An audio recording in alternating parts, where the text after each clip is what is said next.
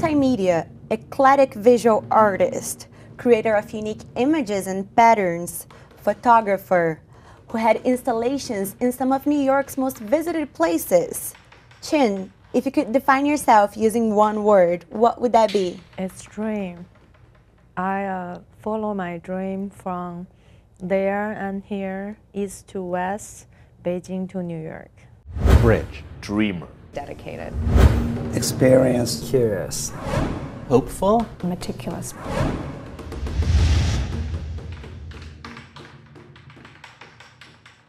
Xin Song grew up in a quiet area of Beijing and now lives in Brooklyn pursuing a career in arts through works that mix folk elements into contemporary art.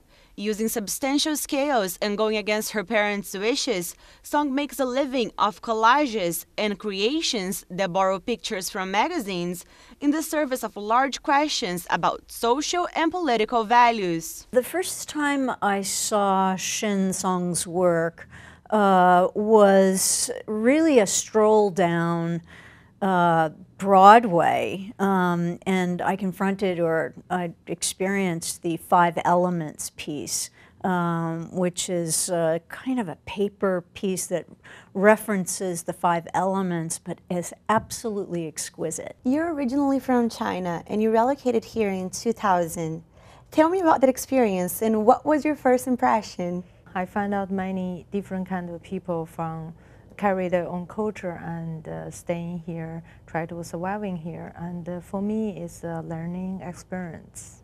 And being that you are from Beijing and living now in Brooklyn, two very different worlds, right? Mm -hmm. What are some major differences that affect you through your work? I grew up in the Zhongguancun and the uh, in intellectual area is kind of simple and quiet when the time I grew up. But later on, we are, you know, that area development to the computer technology areas feel like uh, Silicon Valley's in, you know, in there. So it's a lot of people from the another city and uh, moving into the area and uh, working there. So for me, it, it's changed. You know, why you know it's, it's so different than the time when I grew up. And uh, being here in Brooklyn is also just like that. You know, we're from all over the world and we live in here and we carry our own culture and background and try to share with, with each other. And um, I think that's, that's make me um, think about it. Uh, then uh, also they have really strong connection with it. And what are some things that you appreciate about living in such two different worlds. I feel I'm in between, you know, I'm uh, not belong with each of side, but in, in the middle is very hard. And the good thing is we see two different part and two different side what's going on. We can compare and we have strong feeling with two side. But another thing is it's very hard. It's like a challenge you are try to find your own path and your own way. So it's like uh, the kung fu movie, like you are in there fighting all the warriors and uh, get step by step. And but that path make me uh, strong and looking forward. I walked into a gallery in Chelsea, which sadly no longer exists, um, which was dedicated to contemporary Chinese art. Um, and there I saw the kinds of things I was familiar with, painting, prints, uh, some video. But then this peculiar thing over on one side, which uh, was a kind of draping, swooping, what I took at first to be a fabric piece, but I soon learned was actually cut paper. And I, I thought that was very striking because as many times as I'd been to China and as many Chinese artists as I knew, uh, I could think of only one other artist who was working in paper. Um, so I was immediately intrigued. Bringing these folk elements into contemporary art um, is something that you see every now and again, but not, uh, not done uh, with the exquisite uh, uh, execution that Xin Song actually brings to her work. Also the scale. Of what she's doing, her content, subject matter, very unique. You started off when you were around 18 years old. How did you realize that you wanted to pursue a career in arts?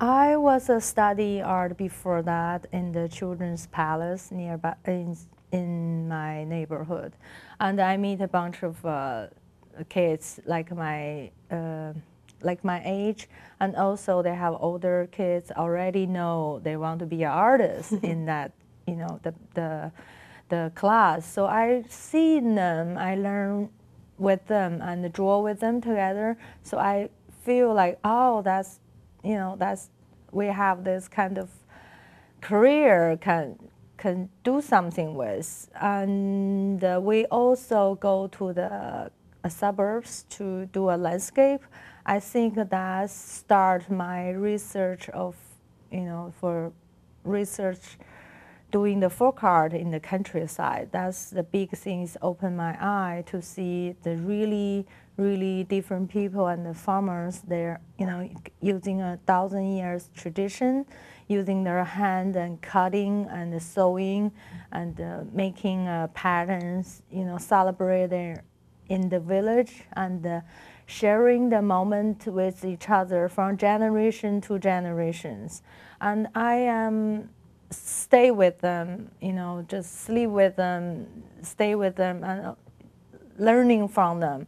So I feel that's really big things for me, just to see their like art has a life. You know, every day they doing. They're not thinking they're doing art. They just do it. They just pick up the scissor and cut, and decorate their home. And you know, their windows or some event or celebrating in the village.